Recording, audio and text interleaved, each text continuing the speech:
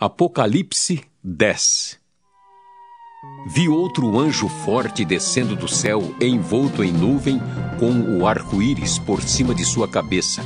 O rosto era como o sol, e as pernas como colunas de fogo. E tinha na mão um livrinho aberto. Pôs o pé direito sobre o mar e o esquerdo sobre a terra, e bradou em grande voz, como ruge um leão. E quando bradou, desferiram os sete trovões as suas próprias vozes. Logo que falaram os sete trovões, eu ia escrever, mas ouvi uma voz do céu dizendo: Guarda em segredo as coisas que os sete trovões falaram e não as escrevas.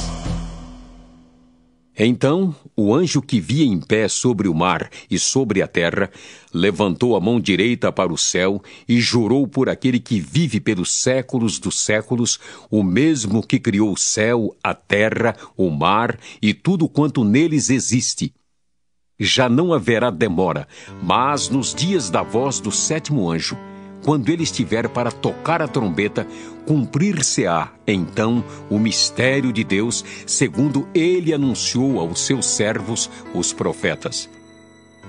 A voz que ouvi vinda do céu estava de novo falando comigo e dizendo: Vai e toma o livro que se acha aberto na mão do anjo em pé sobre o mar e sobre a terra. Fui, pois, ao anjo, dizendo-lhe que me desse o livrinho. Ele então me falou: Toma-o e devora-o. Certamente ele será amargo ao teu estômago, mas à tua boca doce como mel.